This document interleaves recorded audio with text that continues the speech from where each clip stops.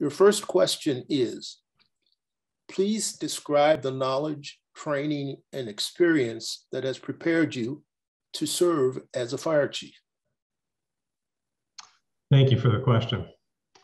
Um, so I first began in the fire and EMS services in 1992. I began as a volunteer uh, with a local fire department, and shortly thereafter, in 1994, began volunteering as an EMT as well. And so I'm now entering into my 30th year um, in this profession. Throughout that time, I spent a number of years in the volunteer um, arena, and then shortly thereafter, began my first professional career eh, for the North Shore Fire Department in the Milwaukee suburbs. Worked there for just short of three years and then and enjoyed that opportunity to um, operate in the Milwaukee County system. And then thereafter, I have been with the Madison Fire Department since 1999. Um, I've spent my time with the City Madison Fire Department as a firefighter, as a firefighter paramedic, uh, as a firefighter paramedic two, as a lieutenant, a training officer, and I presently serve um, as a division chief overseeing EMS training and logistics. Um, throughout my time, um, I've also spent a, lot of, of, time in teaching. I've spent time in the healthcare system outside of the fire department and have been a lifelong Madisonian. Um, I'm a fan of ongoing learning. I try to always keep current and, and make sure that I'm always staying in tune with the latest trends and more importantly, the latest facts um, as they relate to the fire and EMS services. Um, I've tried to always do my best um, to go throughout my career with my eyes and my ears wide open. And I've tried to learn um, from absolutely every experience that I've been through. And with each ongoing experience, I feel I'm able to apply those learning um, encounters to the next experience in front of me. I believe I'm somebody who has always tried um, to be flexible and adaptive. I try to um, be open and approachable. I try to be creative with what I do. Um, and hopefully um, applying those principles um, towards fire and EMS services has allowed me to become successful um, and would allow me to fulfill this role and, and achieve the success uh, on a collaborative behalf of both the fire department and the community. Thank you. What is your vision for the Madison Fire Department? Thank you. You know, the vision for the fire department for me um, is I've got a lot of ideas, as I'm sure we all do. Um, and they're all important. But first and foremost, right now, we do a very good job with service excellence. And I want to make sure that no matter what my vision may be, that we continue to deliver fire and EMS services at a high level with a high um, aptitude for expertise and technical ability. So those things for me would never go away. Um, on that area of things, I enjoy the prospect of us being a flexible, adaptive, creative um, department. I'd like to see us be a department that's data driven and that can continually digest data as more and more becomes available to us with any data that comes our way, I always think that it's important to make sure that we put that through a strong human filter. And it's important for us to recognize if we're going to be data driven, how that data um, works to develop policies and workflows and how that affects not only the membership of the Madison Fire Department in every aspect of what we do, but as importantly or more importantly, how that data driven uh, policy and workflow would end up impacting the city of Madison and the community that we serve. So again, creative and flexible, but data driven um, with a really strong human element applied to it. I would like to see us be um, much more of a bottom up approach as opposed to top down. We have a phenomenal base um, of employees that work for the Madison Fire Department who are committed, who are energized. Um, and I think it would behoove us to really embrace and support and build ideas um, from the field and those that are generated from the field and the people that are out interacting with our community every single day. If we can embrace ideas, support, and, and, and try to promote ideas that are developed at that level, I think it's going to lead for a, a tremendous amount of success for us. Um, I'd like us to be an organization that can embrace change.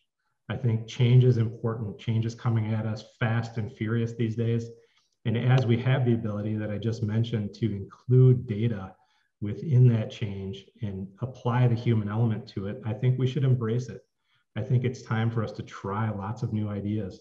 ideas that are brought to us by the community, and ideas that are generated from within and from our field providers. Um, I think we have to be confident, confident to apply that change, to try new ideas, and then confident to own the success or the failures of those ideas. If those ideas don't end up meeting the benchmarks that we anticipated they would, I think it's incredibly important for us to acknowledge that and then reformulate and even revert back to where we were. But I'd like to make sure that we keep the energy moving forward and continue to embrace that change, try new things, and look for some positive results on behalf of the community. More than anything, um, the X's and O's of the department, comparatively, I think, are, are easy. But my big vision for the Madison Fire Department, and more importantly for the city of Madison, is to make sure that we stay focused on the community service aspect of what we do. It's important to understand that everything that we do uh, makes an impact for better or for worse. And the opportunities for us to interface with the community are oftentimes at some of the most challenging um, times for our community. So understanding and reminding ourselves of the impact that we make um, as a collective organization and understanding that it's so much more about the tactics and technique that we apply and that it's really um, has everything to do with the experience that we leave our community with. How do people feel after we return to the station after interacting with them? What's the experience that they had with us? And so th- those are the things, the human elements that are really important to me. Um, within that, my vision really includes, um, you know, five to six main points that I would like to see a lot of focus on I have a lot of energy and passion to continue to further our work with diversity, equity, and inclusion. Hand in hand goes with recruitment. Recruitment can move forward and become a 24 7, 365 day a year um, task of ours to accomplish. And what I mean by that is recruitment is the open door for us for the future recruitment is how we continue to have a steady stream of phenomenal people join us.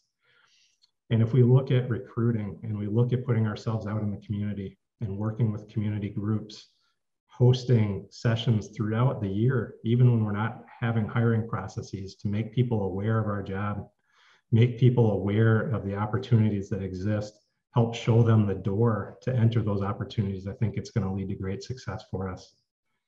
I'd like to see us work on a cadet program that would be an open door from our high school programs and our high schools into the fire department with strong mentorship, leadership by firefighters in the field, and a collaborative program, I think we could have tremendous success. I'd like to see us work on community engagement. I'd like to see us work on assuring that we have a two-way series of communication. The door is always open and the community is always um, welcomed with a large invitation. And we have to be proactive about that. I'd like to see us really focus on employee engagement and recognition of our employees internally. I think with strong employee engagement, it'll lead to phenomenal results across the board for us. EMS is an area that we can continue to enhance there are a lot of peripheral areas of EMS that we've seen tremendous success within recently, including community paramedicine, the City of Madison's CARES program, and the like. And that's only scratching the surface. There's going to be several additional opportunities um, that'll be faced that we can face and that we can tackle and that we can find uh, results within.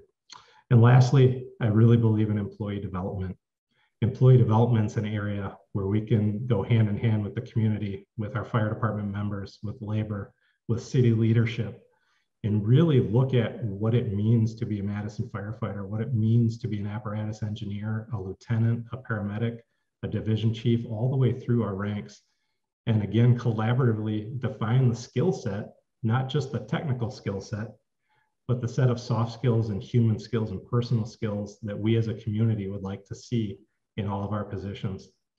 And then let's set forth a strong, clear, concise program of what we want those positions to be, what we want them to hold, and, and we can develop an educational process for our employees to get there. Um, I think that sums up the, greater um, umbrella of the vision for the MFD. Thank you. If you are selected as the next chief, what are your priorities for the first year and the future? Thank you. So the priorities overall into the future would certainly be those five or six areas that I just ran through. Diversity, equity, inclusion, recruitment, community engagement, employee engagement and recognition, the enhancement of our EMS services, and employee development. Those are absolutely my long-term vision. Within the first year, um, to answer the first part of that question, the very first thing I would do is put together a letter and share it with every member of our agency. I think it's really important for everybody within our organization to understand where the fire chief um, sits from a perspective and a starting point and expectations um, and sort of a wish list or dreams, if you will. I would spend time sitting down with every member of our organization. I don't want to have assumptions about the needs of our department. I certainly have viewpoints and I have a lot of passion and a lot of ideas, but I want to make sure that as we set forth moving forward and set a plan and a pathway, that it's representative of everyone within our organization and that I understand all the perspectives and the needs and the feedback um, that our people currently have. On the same right, I know I mentioned community engagement, but that has to be an initial component of what we'll do. We'll reach out and we'll get feedback from the community as a starting place. Where are we right now? And help us formulate those plans. I also think it's important to, um, anytime you have an opportunity to do a reset and a reset of the foundational aspects of the department, to look at basic internal workflows and making sure that everyone is on the same page, everybody has the same expectations, everybody has an equal uh, understanding of opportunities that are in front of them and how to accomplish day-to-day tasks. So I think it's very important to do a lot of listening within the first year, a lot of planning within the first year, collaborate with labor, collaborate with our membership, collaborate with the community, and then set forth on the path to the planning that I mentioned earlier with regard to those six main topics that I'd like to cover, assuring that all perspectives are heard and applied um, equally to those areas. Thank you very much. Uh, that concludes our questions. Um, and we'd like to thank you for your interest and your participation in this process. Thank you very much for having me. Have a good rest of your day. You too.